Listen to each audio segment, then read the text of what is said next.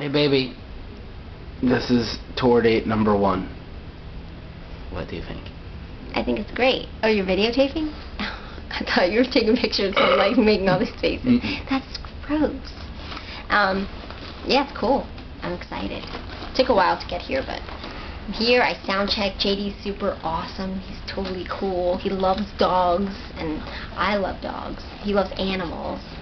And you are an animal. And I am an animal. No, I'm actual. I'm an animal lover too, so I'm very excited. And he's super cool and nice, and I'm really happy to be on tour right now.